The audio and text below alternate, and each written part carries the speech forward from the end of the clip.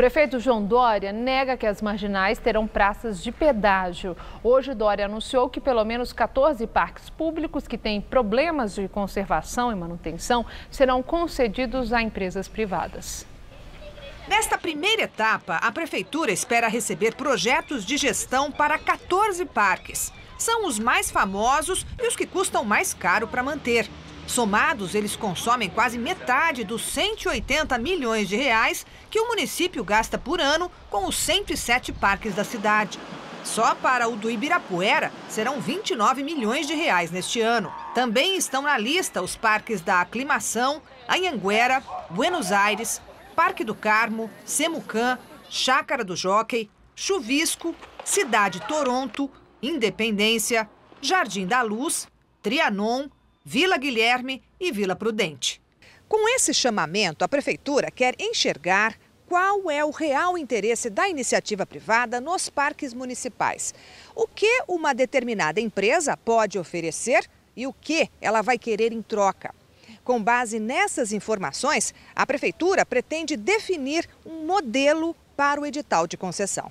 A previsão é lançar o edital de licitação ainda neste ano, depois de uma consulta pública e oferecer todos os parques da cidade agrupados em blocos. A ideia é fazer ações em pacotes, em combo. Nós vamos colocar parques mais remotos, parques que tenham menos interesse, junto com aqueles que são, eu diria, mais robustos do ponto de vista de interesse. Ao assumir a gestão e as despesas do parque, a empresa vai poder explorar o estacionamento, lanchonetes, promover eventos e shows para faturar com o patrocínio mas deve obedecer algumas condições. Assumir toda a despesa do parque, jamais cobrar ingresso da população que usa o parque e fazer investimentos em melhoria. O que tem que ter assim, é transparência, a gente tem que entender o que é isso. O que, que essas, essas empresas privadas vão fazer aqui no parque. E o que isso vai trazer de benefício para os frequentadores. Né? Bem público deve ser conservado pela prefeitura, pelo órgão estatal. Quando você cede um bem público, você vai ceder em benefício de alguém ter um lucro em cima de um bem público. Não acho certo também entregar na mão da, da iniciativa privada para eles fazerem justamente o que eles bem entenderem com o parque, cobrar a entrada e tudo mais.